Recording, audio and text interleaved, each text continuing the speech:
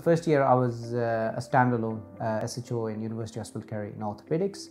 Uh, and during that time, sort of, I uh, explored a few options and then applied for the GP scheme and Southwest, which I'm currently on as my priority. And I was very fortunate, you know, I got the scheme, and you know, it's uh, I've never looked back since then. You know, it's been an amazing journey since then. When I started out, uh, I remember, still remember in 2017 when I was in orthopedics, and I told a couple of my friends, look, uh, I want to apply for the GP scheme. And they were like, oh, no hope, you know, you might as well go to UK. But, you know, sort of I persisted and asked around and uh, the GP trainees who were actually ahead of me, you know, they sort of helped me a lot with my application while working in orthopedics, I was sort of very, keen on you know joint injections and musculoskeletal pathology.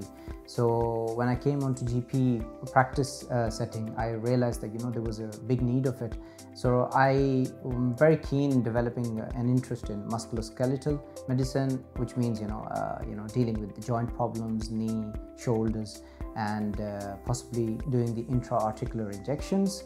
Uh, and that's uh, that's a very important thing because as you know there's long waiting time for people to see orthopedics. So if we can provide a service in community that'll obviously benefit the patients and also take off the load from the uh, waiting list.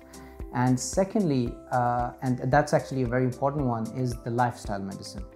Because i believe as gps we look at patients holistically and that's the most important part. If the patient's lifestyle is according to you know what we consider healthy uh, in today's day. And term, I think they will, you know, prevent a lot of problems and they'll stay away from a lot of conditions. And, and that's the key to healthiness and you know promoting a general healthy attitude whether it's diet exercise mood uh, you know avoiding burnouts. And so i'm very much up for that. And i really like talking to patients about that making small changes that can impact you know their life.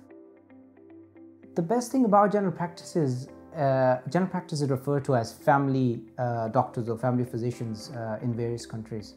And I feel that we are in some way an extension of family members, you know. Uh, we look after, you know, when somebody's from a young age to when they are old.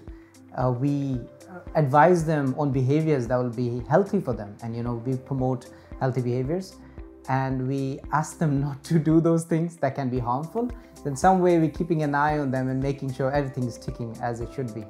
Um, I think second thing about general practice is uh, that it's quite uh, variable. It has a lot of variety. You can sort of set your own, uh, you know, uh, career as your own, uh, it matches your personality. Furthermore, you know, uh, every place you go, I think you can make changes that are very you know valuable which I felt in hospital uh, there was more resistance to. So general practice, you can make more changes and you know uh, lead to better health outcomes.